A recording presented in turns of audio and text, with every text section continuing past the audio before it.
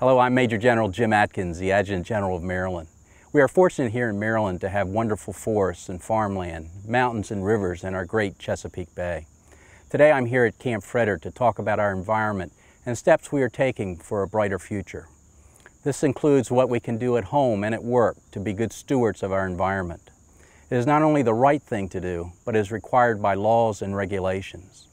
The Maryland National Guard is a community-based organization with more than 7,000 soldiers, airmen, and civilians that live and work in and around Maryland. We have 40 armories spread across the state and more than 300 buildings sitting on 5,100 acres of land. We must uphold our commitment to be good stewards of the environment and the resources provided to us by the federal government and the state of Maryland. Whenever possible, we will look to both the public and private sectors to apply best practices for the benefit of all our stakeholders. On a daily basis, our soldiers, airmen, and civilian employees use and work with materials that, if not handled properly, are hazardous to the environment.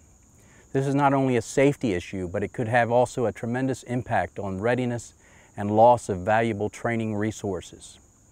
We all have a responsibility to make the state of Maryland a safer and cleaner place.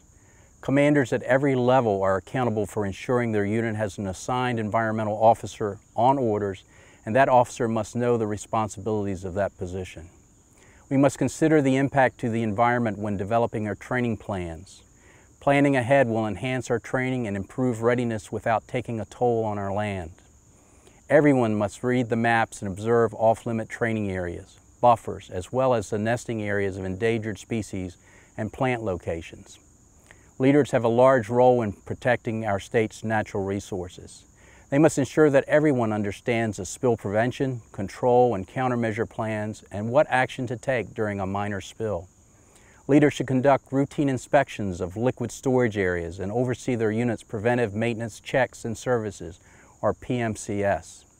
By conducting proper preventive maintenance checks, we can effectively identify and intervene before an incident becomes a huge environmental hazard.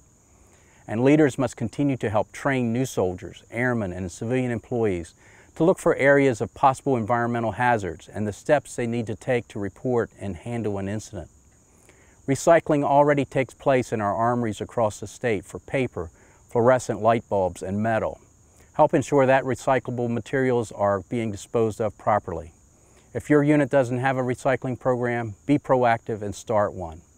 In the past few years, we as a team have reduced our energy costs by installing more efficient light bulbs, motion lights, Energy Star windows and appliances.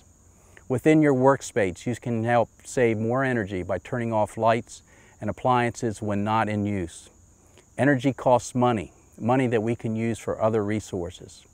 As I have stated, together we can improve the environment, enhance readiness, as well as save money and lives. Now it's time for you to take action. Thank you, and if you have more questions, contact your unit environmental compliance officer or visit our website for more information. Thank you.